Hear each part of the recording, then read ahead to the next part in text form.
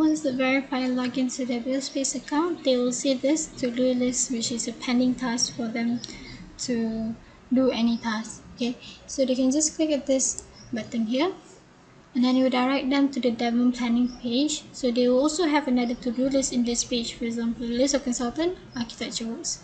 So we have the number of revision and days pending. So they just click view and you direct them to the pending approval page for them to do the task.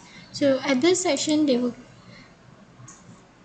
key in any remarks if they have. If let's say they reject, then this remark section is mandatory. If they approve, then this remark section is optional.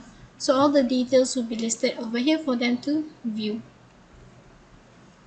Right, so they will either click approve. If they click approve, then it will go back. It will proceed to calling RFP. If they reject, then it will go back to the preparer to do all the amendments.